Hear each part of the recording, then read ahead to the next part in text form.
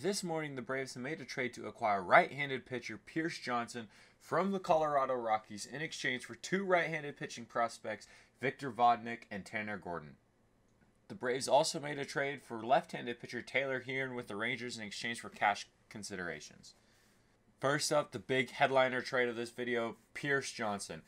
Now, like Shintaro Fujinami, let's not look at his main stats as a big worrisome issue here.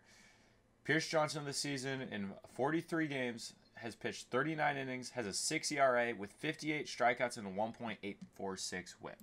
However, that was mainly in the closer's role. He's fared much better since being pulled out of the closer's role with a 3.6 ERA in 15 innings, striking out 36.2% of those batters. Going more in depth, when we just go back two seasons to 2021, Pierce Johnson for the Padres pitched a 3.22 ERA and 58 and two thirds innings pitched and struck out 77 batters. He owned a 1.261 whip. Pierce Johnson's home run numbers have spiked quite a bit, but he's also pitching in Colorado. He has a career high 1.6 home runs per nine, whereas last year he had a 0.6, and the two years before that he had a 0.9 home run.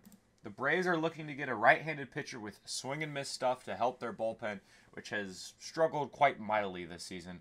Pierce Johnson signed a one year, $5 million deal with the Rockies this offseason, so he'll be a free agent after this year. The return for the Rockies is actually quite good, which is a good sign for the relief pitching market.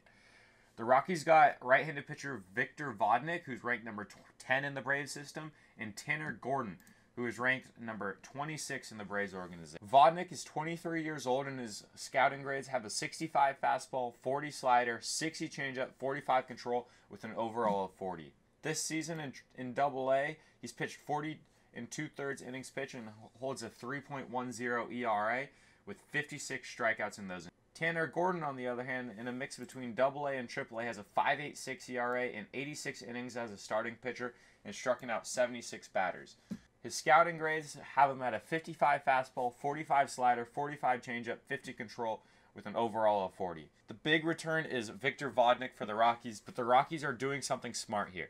They signed a one year deal for a reliever, and they get two prospects that will likely be ranked in their top 30 of the organization, both pitching prospects. We know in Colorado it's hard to attract pitchers, so if you can get prospects that are pitchers in your organization, it is a really, really good sign. Quickly, we'll mention Taylor Hearn, and he's never been something too crazy. He hasn't pitched all that much this year, only seven innings, 10.29 ERA. The previous two seasons, 100 innings in each, 4.66 and 5.13 ERA. Nothing incredibly special, 92, 97 strikeouts. Just a lefty with options, I believe. So, Hearn is going to be just another reliever in the Braves that they're going to hopefully try and turn around for them. Overall, I think the winner and loser of this trade is going to be the Colorado Rockies. I really like what they did here. They get two pitchers, especially one in the top 10 of the Braves system, for a team that plays in Colorado and likely doesn't get a whole lot of pitching prospects. I really like the return for Pierce Johnson, who did have a 6 ERA this season, but has been much better outside of the closer's role. And for the Braves, I think you didn't make a bad trade. I think Pierce Johnson is a step in the right direction. We saw what they did last year. They made a bunch of smaller trades for the relievers, and they paid out really well. So I think the Braves. I also like what they did, but not as much. I think the Braves they're going to get a C plus on this trade.